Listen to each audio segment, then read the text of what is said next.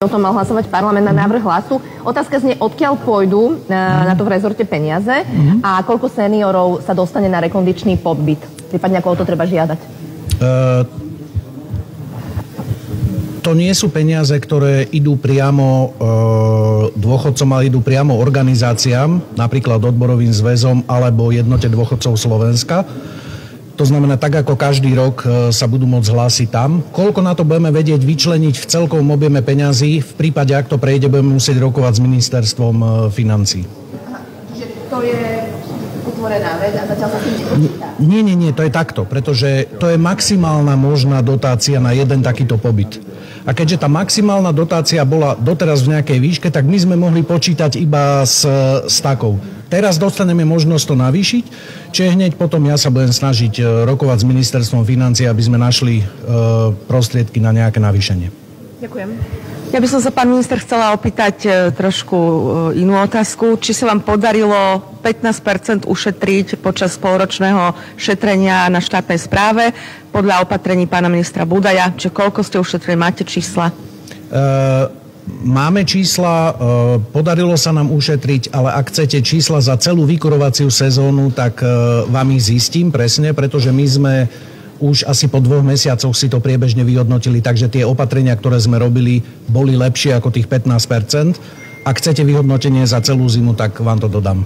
Ďakujem. Ešte ak môžem, je otvorená téma vlastne z, z, zaviesť povinnú školu pre ukrajinské deti, aby aj oni mali povinnú školskú no. otáz, do, dochádzku. A teraz v podstate sa to do istej miery týka aj vášho rezortu, že by sa naviazala na rodičov táto dochádzka a na ich čerpanie e, príspevkov vlastne. Tak to majú urobené napríklad v Česku, mne sa to zdá byť rozumné. Rokujete o tom s ministrom školstva? Áno, debatovali sme o tom.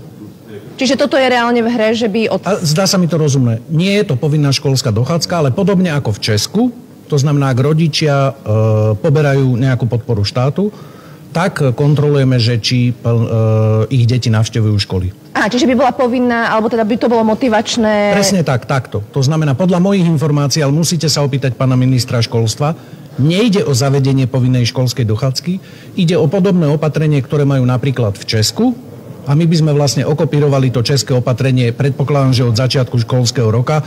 Nám sa to zdá byť rozumné, takže ak to takto pán minister školstva navrhne urobiť, my to podporíme.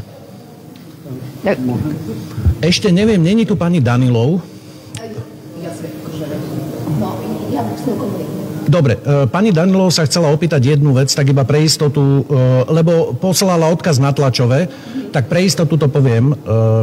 To, čo sme minulý týždeň schválili, to opatrenie pre pomoc tých, ktorí mohli prepadnúť tým e, sitom inflačnej pomoci doterajšej, tak tlačivo aj informácie k tomu už sú zverejnené na webe e, Ústredia práce, sociálnych vecí a rodiny, takže tam si to každý e, potenciálny uchádzač môže pozrieť. A pripomenite nám teda ešte, keď o tom rozprávate, kto má na to nárok ešte? Má nárok každý, kto doposiaľ, to znamená v roku 2022, nedostal niektorú z foriem inflačnej pomoci, napríklad zvýšený prídavok na dieťa, alebo 14. dôchodok, alebo pomoc, e, pretože e, bol v hmotnej núdzi, to sú napríklad tie naj, naj, e, najčastejšie využité. Ďakujem veľmi pekne. A ešte, ak dovolíte, e, myslím, že to bol minulý týždeň v piatok, e, ste rokovali aj s pani ministerkou Remišovou a s odborármi o Fonde spravodlivej e, transformácie, ak sa mi nemýlim. Eh, či Nebol som sa, na tom rokovaní osobne, to znamená, že musíte sa uh, opýtať kolegov, alebo zistím vám informáciu od uh, kolegov, ktorí na stretnutí boli. Uh, možno len tak uh, hmm. máte informáciu o tom, že minimálne odborári teda kritizujú, že sa ten proces celý rozbieha veľmi pomaly.